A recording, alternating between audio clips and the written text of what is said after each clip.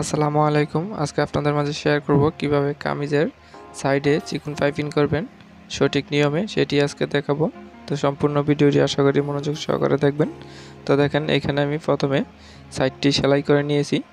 ঠিক আছে? তো এইভাবে প্রথমে কামিজের সাইডটি সেলাই করে নিয়েছি আমি। তো আমি আজকে দেখাবো শুধু সাইডে কীভাবে সঠিক নিয়মে পাইপিং করবেন। তো দেখেন, এইখানে আমাদের এই যে যে দাগটা আছে, এটা কিন্তু আমাদের কাটার সময় আমাদের এই দাগটা দিয়েছিলাম আমরা, ঠিক আছে? তো এটা আমাদের মেইন দাগ। তারপরে এই দাগ থেকে দেখেন হাফ ইঞ্চি দূরে আমি একটা দাগ দিয়ে দিলাম। তো হাফ ইঞ্চি এখানে, ঠিক আছে? এই দাগ থেকে হাফ ইঞ্চি বাইরে কাপড়টা কেটে নিতে হবে। তো সাইডের পাইপিং কিন্তু অনেকভাবেই করা যায়। তো এটা একভাবে, ঠিক আছে? তো এটা হচ্ছে সবচেয়ে সহজ পদ্ধতি। তো আপনি কীভাবে পাইপিং লাগাতেন? অবশ্যই কমেন্ট করে জানাবেন। আর যদি এইভাবে লাগান, তাহলেও কমেন্ট করে জানাবেন।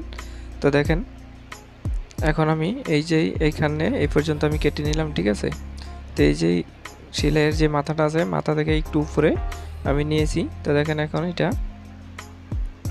তো সেম একইভাবে এই সাইডেরটাও কিন্তু কেটে নিতে হবে।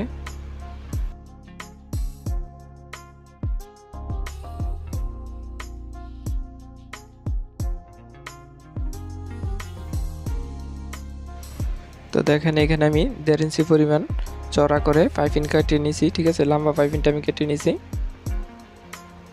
তো দেখেন এখন আমাদের যে কামিজটা আছে, ঠিক আছে? এই কামিজের একটা পাট আমি সরিয়ে রাখলাম, ঠিক আছে? এই নিচের পাটে। দেখেন, এই নিচের পাট থেকে আমাদের সেলাইটা করতে হবে।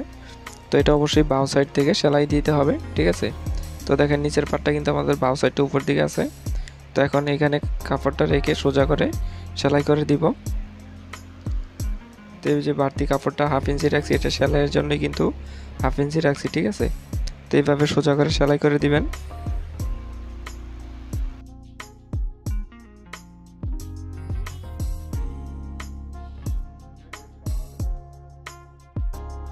তারপরে দেখেন, এভাবে নখ দিয়ে একটু কাপড়টাকে বাঁশ দিয়ে নিতে হবে। তাহলে পাইপিংটা করতে কিন্তু সুবিধা হবে। এভাবে একটু বাঁশ দিয়ে নেবেন নখ দিয়ে, ঠিক আছে? তো দেখেন, এখন আমাদের এটা যদি আপনারা চাইলে এরকম চড়া করে দিতে পারেন, ঠিক আছে?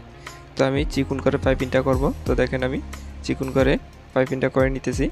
তো পাইপিংটা করার সময় পাইপিংটা কিন্তু একুরেট রাখবেন। সব জায়গায় যাতে এক সমান থাকে চিকুন, ঠিক আছে? তো দেখেন আমি পাইপিংটা করে নিতেছি। তো এইভাবে চিকুন পাইপিংটা এইভাবে করে নেবেন। তো ভিতরের যে কাপড়টা সেলাই দিয়েছি, ঠিক আছে? হাফ ইঞ্চি কাপড়, এই কাপড়টা কিন্তু বাইরের দিকে রাখবেন, তাহলে পাইপিংটা একটু মোটা হবে। আর যদি ভিতর দিকে রাখেন, ঠিক আছে, তাহলে পাইপিংটা একটু পাতলা হবে, ঠিক আছে, নরম হবে। তো দেখেন আমি পাইপিংটা করে নিতেছি। তো ভিডিওটি যদি ভালো লাগে, অবশ্যই ভিডিওটিতে একটি লাইক দিয়ে দিবেন আর ভিডিওটি শেয়ার করে আপনার বন্ধুদেরকেও দেখার সুযোগ করে দিবেন। আর এরকমই নতুন নতুন সেলাই কাজ শিখতে আমাদের চ্যানেলটি সাবস্ক্রাইব করে রাখবেন। পাশে থাকা বেল বাটনটি বাজিয়ে দিবেন অবশ্যই। যাতে করে আমাদের নতুন নতুন ভিডিও ছাড়ার সাথে সাথে আপনার কাছে নোটিফিকেশন সবার আগে চলে যায়। তো দেখেন, আমি কিন্তু এক সাইড পাইপিং করে নিয়েছি। এখন আবার এই কাপড়টাকে আমি উল্টিয়ে নিলাম। তো এখন উল্টিয়ে এই পাশ থেকে আমাদের পাইপিংটি লাগিয়ে নিতে হবে।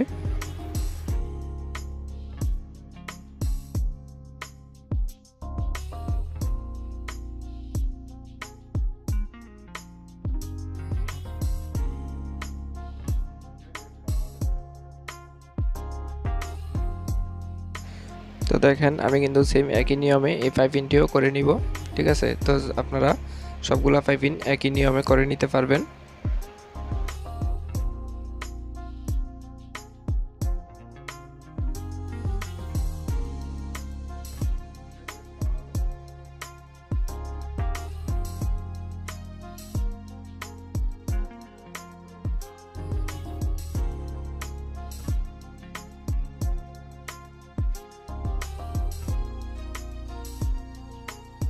তো দেখেন, তারপর আমাদের যেটা করতে হবে, এই যে কাপড়টা আছে, এই কাপড়টা আমাদের এইভাবে বাস দিয়ে এখন সেলাই করে দিতে হবে।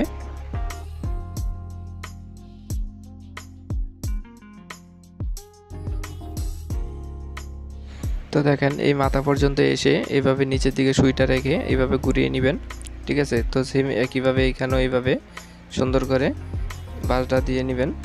তো দেখেন এখানে একটু সমান মাঝখানে কিন্তু দোনোটা পাইপিং একটু চাপ দিয়ে সেলাইটা করে দিবেন, ঠিক আছে? একদিকে বাঁকা করে দিবেন না, সমান মাঝখানে দোনোটা চাপ দিয়ে সেলাই করে দিবেন। তো দেখেন, এভাবে সেম একইভাবে সেলাই করে নিব। তো বন্ধুরা দেখেন, আমি কিন্তু ফাইভ ইঞ্চি সেলাই করে নিয়েছি। তো দেখেন ফাইভ ইঞ্চি কিন্তু খুবই চমৎকার হয়েছে, ঠিক আছে? তো এইভাবে আপনারা সেম একইভাবে আপনারা ফাইভ ইন করে নিতে পারবেন। তো আপনারা সবগুলো সাইড একইভাবে করে নেবেন, দেখেন। ঠিক আছে? তো এটা আয়রন করলে আরও সুন্দর ফিনিশিং চলে আসবে। তো দেখেন, সবগুলা পাইপিং কিন্তু আমার এক সমান হয়েছে এইভাবে এক সমান করে পাইপিংটি করে নেবেন। তো দেখেন, নিচে যখন পাইপিং করবেন, তখন কিন্তু হাফ ইঞ্চি বা এক ইঞ্চি কাপড় কিন্তু কেটে ফেলে দিতে হবে, ঠিক আছে? আর যদি কাটিংয়ের সময় যদি কম কাটেন, তাহলে আর কাটতে হবে না।